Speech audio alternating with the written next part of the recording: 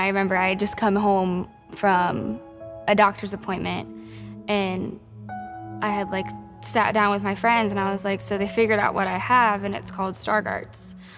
I read by, and I look at people by looking above them because I've got no central vision.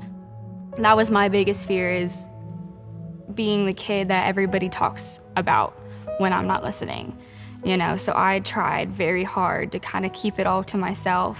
Everybody obviously was asking questions like, is it gonna be cured? Can you, you know, is it gonna get worse? Are you gonna be completely blind? You know, like, but they're, they're, they were great with it and they always have been. The moment I made my cheerleading squad, those were basically like my sisters. I mean, we hung out every single day, you know, we mean we didn't leave each other's sides. That's basically how I met most of my friends and it's cool cuz I met them when I was 13 and we all went to college together. People will make a joke like, "What are you blind?" and I'm like, "Yeah." And then, and then they're like, "Oh my gosh, I'm so sorry. I didn't mean it." And I'm like, "Don't. I mean, like don't feel bad for me. Like I've never been able to see what anybody else sees, so it's not like I know any different.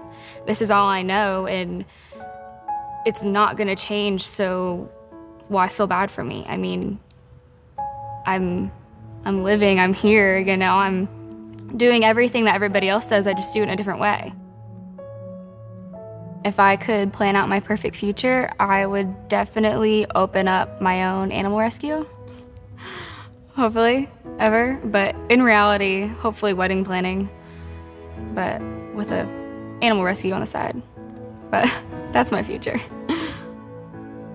Live life the happiest. Because happy is fun, being sad is not fun.